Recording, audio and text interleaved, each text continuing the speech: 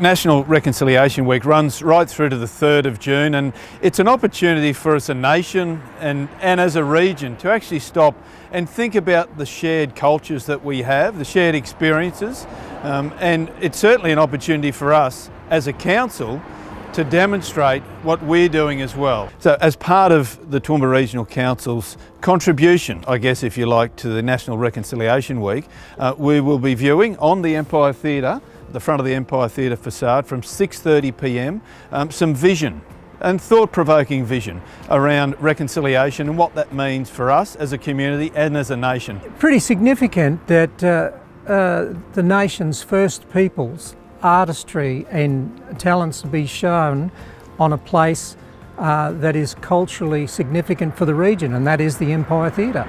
I think that's really great. Very, a very appropriate theme this year, In This Together and how do we uh, grow closer together? How do we understand uh, and share cultures? It's by asking the question, it's by participating, it's by reaching out and uh, acknowledging those different cultures uh, and people in our community.